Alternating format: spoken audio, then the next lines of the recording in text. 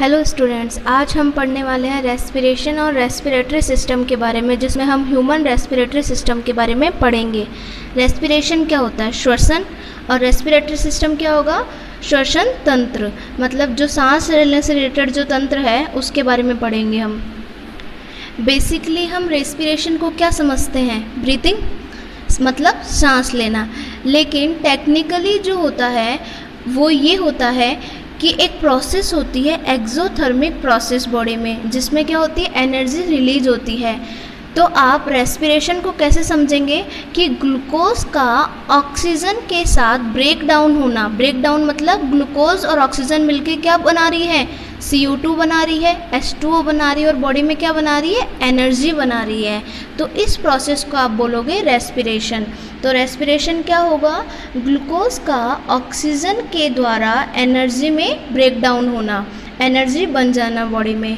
तो ये होगा आपका रेस्पिरेशन दो तरह की प्रोसेस होती है, एक एंडोथर्मिक और एक एक्जोथर्मिक एक्जोथर्मिक प्रोसेस में एनर्जी रिलीज़ होती है और एंडोथर्मिक प्रोसेस में जो एनर्जी है वो अब्जॉर्व होती है. रेस्पिरेशन जो है वो एक ऐसी बायोकेमिकल प्रोसेस है जिसमें सेल्स को क्या होती है? एनर्जी मिलती है एनर्जी मिलती है सेल्स को. और क्या रिलीज़ होता है? कार्बन डाइऑक्साइड वाटर और एटीपी एटीपी क्या है यहाँ पे? एनर्जी की करेंसी जो होती है, उसको बोलते हैं एटीपी इसका फुल फॉर्म होता है adenosine triphosphate is the energy currency इसको क्या बोलते हैं? एनर्जी करेंसी बोलते हैं। It is the high energy molecule ये क्या होता है? हाई एनर्जी मोलिक्यूल होता है that that store the energy जो किसको स्टोर करके रखता है? एनर्जी को स्टोर करके रखता है। बेसिकली दो तरह का रेस्पिरेशन होता है। एक एरोबिक रेस्पिरेशन और एक अनैरोबिक रेस्पिरेशन आपका जो एरोबिक रेस्पिरेशन होता है, वो ऑक्सीजन की प्रेजेंस में होता है मतलब ऑक्सीजन के साथ होता है, और जो एनएरोबिक रेस्पिरेशन होता है, वो ऑक्सीजन की एब्सेंस में होता है। जो एरोबिक रेस्पिरेशन है ऑक्सीजन की प्रेजेंस में होने वाला, वो होता है ह्यूमंस और एनिमल्स में। और जो एनएरोबिक रेस्पिरेशन है, जो ऑक्सीजन के एब्सेंस में होता है, वो बैक्टीरिया फंगी एल्गी इनमें पाया जाता है। आपने पढ़ा होगा कि फ़िश जो होती है वो कहाँ से सांस लेती है? अपने गिल्स से। स्नैक जो होते हैं वो अपने लंग्स से सांस लेते हैं। फ्रॉग जो होते हैं वो अपनी स्किन और लंग दोनों से सांस लेते हैं। और जो आपके बर्ड्स होते हैं वो भी अपने लंग से सांस लेते हैं। और अमीबा जो होता है, अपने जो स्किन का सरफेस होता है, उससे सांस लेता है। तो अब हम पढ़ेंगे ह्यूमन रेस्पिरेटरी सिस्टम के बारे में कि ह्यूमंस में रेस्पिरेशन जो है वो किस तरह होता है। ह्यूमन रेस्पिरेटरी सिस्टम को तीन पार्ट में डिवाइड कर रखा है कि ये तीन तरह से काम करता है। अपर रेस्पिरेटरी सिस्टम जिसमें कौन कौन आएँगे? नोज़ माउथ फेरिंग्स लैरिंग्स ये सब अपर रेस्पिरेटरी सिस्टम में आएँगे। सेकंड है आपका lower respiratory system lower respiratory system में आएगा ट्रैकिया लंग्स ब्रोनकाई एल्वेओली ये किसमें आएँगे? लोअर रेस्पिरेटरी सिस्टम में। थर्ड है आपका रेस्पिरेटरी मसल्स रेस्पिरेटरी मसल्स जो है, वो एक होगा डायफ्राम डायफ्राम के बारे में हम सबसे लास्ट में पढ़ेंगे. तो इन तीन सिस्टम जो है, तीन पार्ट जो है, उसके बारे में पढ़ लेते हैं. तो फ़र्स्ट है आपका अपर रेस्पिरेटरी सिस्टम इसमें क्या क्या आएँगे? नोज़ माउथ फेरिंग्स लैरिंग्स ये सब इसमें वर्क करेंगे. तो सबसे पहले जो एयर है, वो कहाँ से आती है? नोज़ से एंटर करती है. जो हमारा नाक होता है उससे एंटर एंटर करती है। जो हमारा नोज़ है, उससे ऑक्सी एयर जो है, वो एंटर करेगी और CO2 जो है, वो आउट होगी। और ह्यूमंस जो हैं, उनके नोज़ में क्या होगा? One pair of nostrils nostrils किसको बोलते हैं? जो नाक का छेद होता है, उनको बोलते हैं। It has a large cavity क्या होती है? एक लार्ज कैविटी होती है और दो पार्ट्स में ये डिवाइड होते हैं। और क्या होता है? एक थिन बोन होती है और मेम्ब्रेन होती है नोज़ में।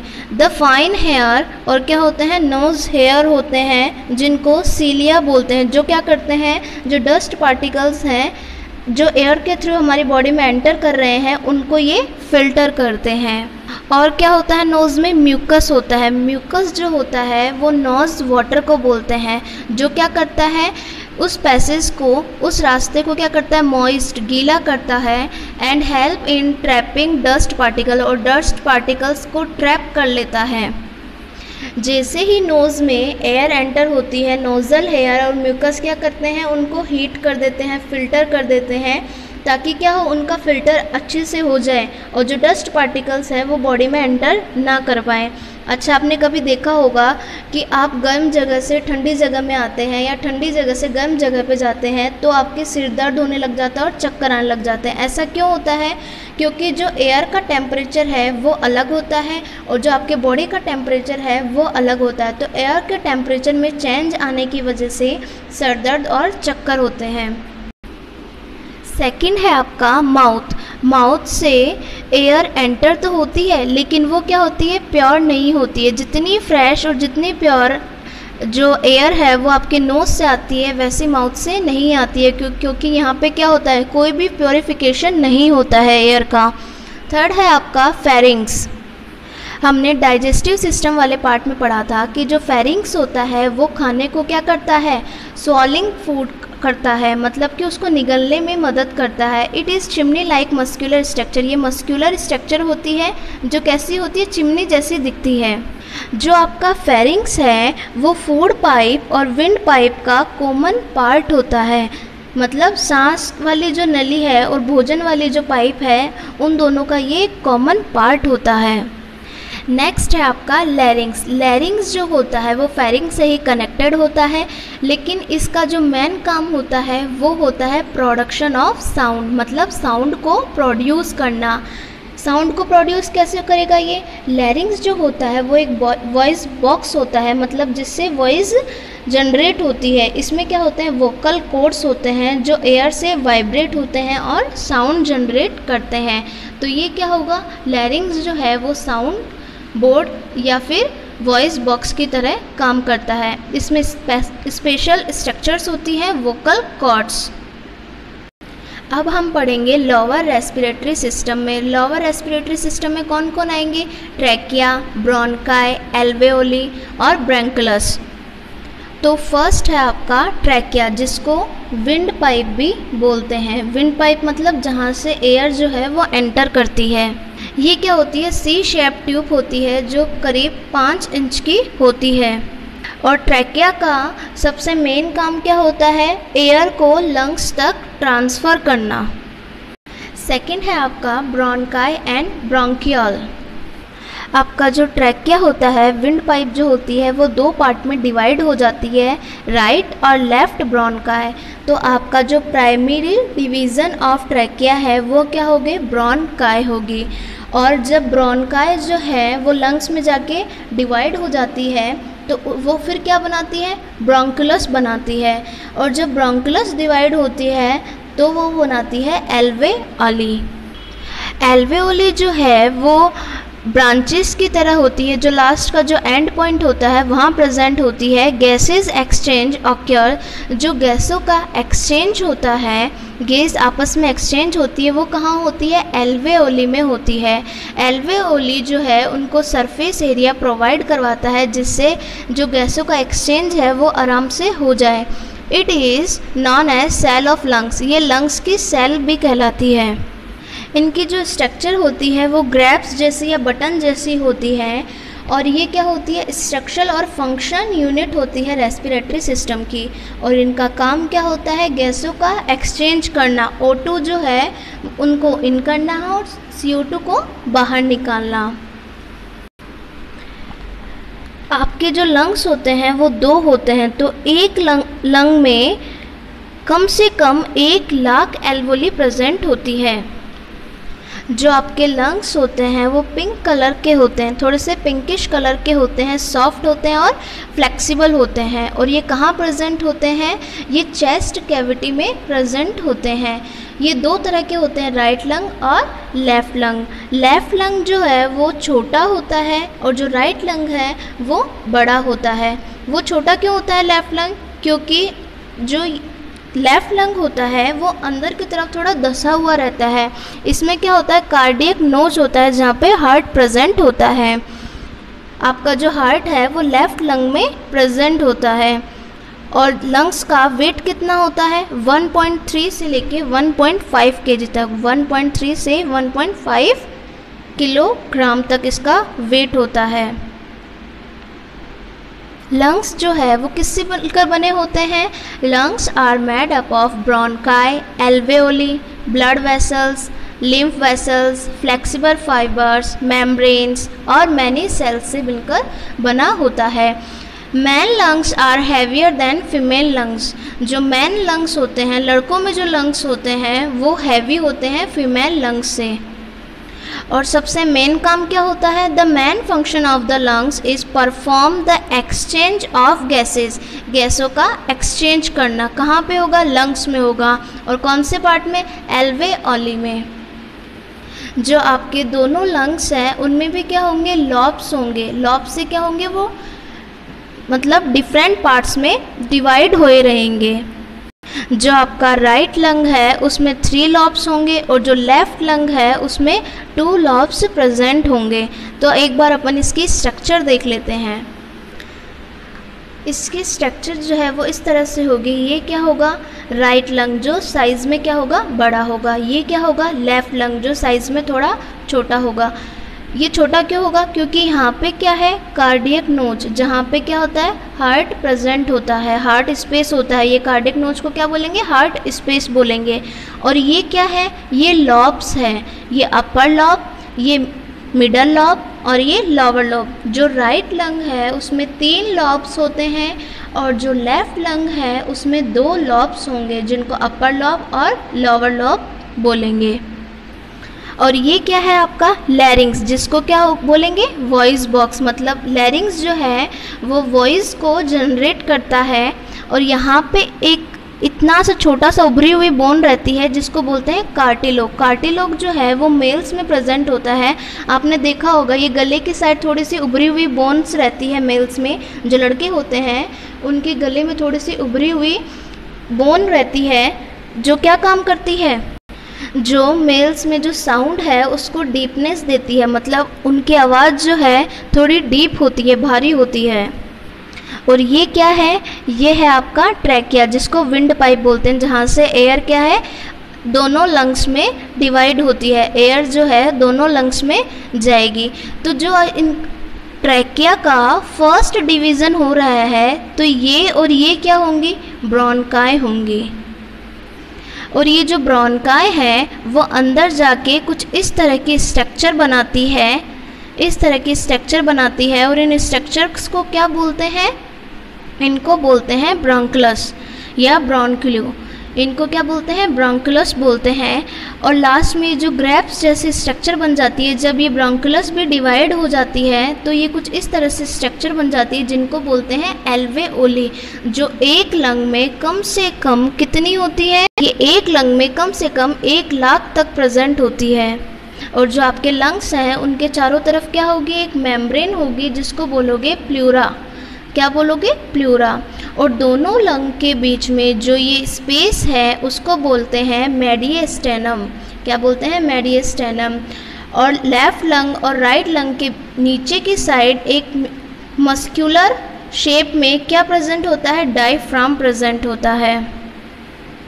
डायफ्राम जो होता है, वो चेस्ट वाले पार्ट और स्टमक वाले पार्ट को अलग अलग करता है। डायफ्राम जो होता है, वो एक मस्क्यूलर ऑर्गन्स होता है। इसका मतलब ये पूरी तरह से मसल्स से बना हुआ होता है, जो दोनों लंग्स के बीच में या फिर जस्ट नीचे होता है। और ये क्या कंट्रोल करता है? ये रेस्पिरेशन रेट को कंट्रोल करता है। किसको कंट्रोल करता है? रेस्पिरेशन रेट को। आपने देखा होगा कि आपको कई बार क्या आने लग जाती है? हिचकी आने लग जाती है, जो मोस्टली अपन बोलते हैं कि कोई याद कर रहा है, लेकिन ऐसा कुछ नहीं होता है। हिचकी आपको तब आती है जब आपकी बॉडी में जो एयर एंटर हुई है, उसमें सी की मात्रा कार्बन डाइऑक्साइड की मात्रा ज़्यादा हो, तब आपको क्या आती है? हिचकी आती है। तो अगर आप ज़ोर ज़ोर से सांस लेते हैं डीप सांस लेते हैं डीप ब्रीथ देते हैं तो क्या होगी? आपकी हिचकी बंद हो जाएगी। तो primary division of trachea trachea का प्राइमरी डिवीज़न मतलब सबसे पहले बार जब डिवीज़न हुआ था तो उसको क्या बोला था हमने? ब्रॉन काय बोला था। और जब ब्रॉनकाय का फ़र्स्ट डिवीज़न हुआ था, जब ये ब्रॉनकाय जो है छोटे छोटे ये शेप में डिवाइड हो गई थी तो उसको क्या बोला था? ब्रोंकस बोला था। और जब ब्रोंकस का भी डिवीज़न हो गया तो उसको क्या बोलोगे? एल्वे आली बोलोगे। आपने सुना होगा कि जो लोग स्मोकिंग करते हैं, उनके लंग्स ख़राब हो जाते हैं। तो लंग्स में कौन सी सेल्स जो है, वो डैमेज होने लग जाती है? वो होती है ब्रोंकस या ब्रोंकिलस ये क्या होती है? डैमेज या फिर ब्लॉक हो जाती है। तो कौन सी सेल्स जो हैं लंग्स में डैमेज हो जाती है स्मोकिंग करने से? ब्रोंकस अब यहाँ हम देखेंगे कि जो एक एल्वेओली है, वो किस तरह से काम हो, करती है। लंग्स में कितनी एल्वेओली होती है? वन लैख पर लंग। तो हम बात कर रहे हैं एक एल्वेओली की, जो किस तरह काम करती है लंग्स में? जो एल्वेओली है, वो गैसेस का एक्सचेंज करती है और ब्लड का प्योरीफिकेशन करती है। इसमें क्या होता है, जो ऑक्सीजन जो है, वो एंटर करती है और CO2 जो है, वो ट्रैकिया से बाहर निकलती है। आपको पता है कि जो भी न्यूट्रिशंस वगैरह हैं, वो सब किसमें घुले हुए रहते हैं? ब्लड में घुले हुए रहते हैं। तो जब आपका हार्ट से इम्प्योर ब्लड आएगा, जिसको कौन लेके आएगा? पेलीमेंट्री आर्टरीज इम्प्योर ब्लड का मतलब क्या है? इसमें ऑक्सीजन की मात्रा जो है, वो कम है और CO2 की जो क्वांटिटी है, वो ज़्यादा है। तो जैसे ही एंटर होगी तो एल्वोली कैसे काम करेगी? अब ये इम्प्योर ब्लड है तो इसमें CO2 की मात्रा ज़्यादा है और ऑक्सीजन की मात्रा कम है। तो ये जहाँ, अब इस स्पेस में आएगी, जहाँ से क्या है ट्रैकिया जुड़ा हुआ है तो अपने एनवायरनमेंट में क्या होता है ऑक्सीजन की मात्रा ज़्यादा होती है और कार्बन डाइऑक्साइड की मात्रा कम होती है। तो जैसे ही एयर एंटर करेगी तो उस एयर में ऑक्सीजन की मात्रा क्या होगी, ज़्यादा होगी और CO2 की मात्रा जो है वो कम होगी। तो यहाँ पे आके जब ये मिक्स होगी तो यहाँ से क्या होगा? CO2 जो है वो आउट हो जाएगी और ऑक्सीजन की मात्रा जो है वो बढ़ जाएगी। इसी तरह रेस्पिरेशन का जो प्रोसेस है, वो चलता रहता है। तो जब ये इस साइड जाएगी पेलीमेंट्री वैन की तरफ़, ये क्या थी? पहली मैनी आर्टरी थी। अब ये क्या है? पहली मैनी वैन अब इसमें जो है, ये ऑक्सीजन की मात्रा ज़्यादा हो गई और CO2 की मात्रा जो है, वो कम हो गई। तो ये जो ब्लड जाएगा, वो क्या होगा? प्योर ब्लड मतलब ऑक्सीजनेटेड ब्लड होगा। और जो इम्प्योर ब्लड है, वो डीऑक्सीजनेट ब्लड होता है। तो ये जो प्रोसेस है पूरी, वो किस, कौन सी है? डिफ्यूज़न प्रोसेस है। डिफ्यूज़न प्रोसेस में क्या होता है? जो आपकी एयर है, वो हाई प्रेशर से लो प्रेशर की तरफ़ जाती है। मतलब अब लंग से जो हार्ट की तरफ़ ब्लड जाएगा, वो प्योर ब्लड होगा। इस प्रो कौन सी प्रोसेस हो रही है यहाँ पे? जो आपकी ग्लूकोज है, जो आपका ग्लूकोज है, वो ऑक्सीजन के साथ मिलकर ब्रेक डाउन हुआ और क्या क्या बना CO2 बनी H2O बना और ATP के रूप में आपकी एनर्जी स्टोर हुई। CO2 तो क्या है? रिलीज़ हो जाएगी, ठीक है? तो इस तरह की प्रोसेस एल्वेओली में होती है। अब है आपका रेस्पिरेटरी मसल्स रेस्पिरेटरी मसल्स की तरह कौन काम करता है? डायफ्राम काम करता है। और हमने पढ़ा कि ये किसके लिए रेस्पॉन्सिबल होता है? रेस्पिरेशन रेस्पिरेशन के लिए रेस्पॉन्सिबल होता है। It is a thin layered structure एक पतली सी स्ट्रक्चर होती है, जो किससे बनी होती है? स्केलेटल्स मसल से बनी हुई होती है, जो कहाँ पे होती है? चेस्ट कैविटी के बॉटम में। चेस्ट कैविटी जो होती है, दोनों लंग्स के बीच में जो स्पेस होता है, उसके नीचे की तरफ़ होती है। और क्या करती है? जो रेस्पिरेशन रेट है, उसको कंट्रोल करती है। जैसे ही एयर एंटर होती है लंग्स में, फिर क्या होती है? नोज़ से सी टू गैस जो है वो बाहर रिलीज़ हो जाती है। तो ये जो डायफ्राम है वो इस तरह से काम करता है। अगर आपको पूछे कि respiratory pigment of human body मतलब रेस्पिरेटरी पिगमेंट क्या होगा? ह्यूमन बॉडी का तो आप बोलोगे हीमोग्लोबिन। क्यों? क्योंकि ये ब्लड में प्रेजेंट होता है और जो भी रेस मतलब ये जो रेस्पिरेटरी सिस्टम जो भी वर्क करता है, उसमें क्या होता है? ब्लड के साथ साथ जो आपकी एयर है, उसका एक्सचेंज होता है। तो रेस्पिरेटरी पिगमेंट कौन सा होगा? हीमोग्लोबिन। ह्यूमंस जो हैं, वो एक मिनट में कितनी बार सांस लेते हैं? 12 टू 16 टाइम्स सांस लेते हैं। मतलब एक मिनट में हम 12 से 16 बार सांस लेते हैं। और चिल्ड्रन में इसकी जो रेट होती है, वो ज़्यादा होती है मोर देन 20 ये एक मिनट में जो बच्चे हैं, वो 20 बार सांस ले सकते हैं। और आपका रेस्पिरेशन फ्यूल कौन सा होता है? मतलब वो फ्यूल वो ईंधन जो रेस्पिरेशन में काम आता है, वो होता है आपका ग्लूकोज और लास्ट में फाइनल प्रोडक्ट क्या बनता है आपका? एनर्जी बनती है, जो किसकी फॉर्म में होती है? एटीपी की फॉर्म में. एटीपी की फुल फॉर्म क्या होगी? एडिनोसिन ट्राई फॉस्फेट और जो आपकी रेस्पिरेशन की प्रोसेस है, उसको किससे मेज़र किया जाता है? स्पिरोमीटर से. स्पिरोमीटर से इसको मेज़र किया जाता है. तो हमने पढ़ा कि एयर जो है वो नोज़ से एंटर हुई, फिर किसमें गई? फेरिंग्स में गई लैरिंग्स में गई ट्रैकिया में गई और लास्ट में कहाँ गई? लंग्स में गई। और लंग्स से क्या होगा? गैस का एयर का एक्सचेंज होगा और CO2 बाहर जाएगी और O2 जो है वो बॉडी में एंटर कर जाएगी। आज के लिए इतना ही। Thank you